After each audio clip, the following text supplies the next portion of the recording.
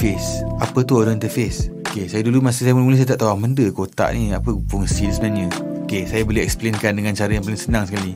Dia macam sound card main game tu, tapi dia sound card yang letak kat luar. Dia cucuk kat luar. Kenapa taruh kat luar? Saya tak pakai sound card biasa je.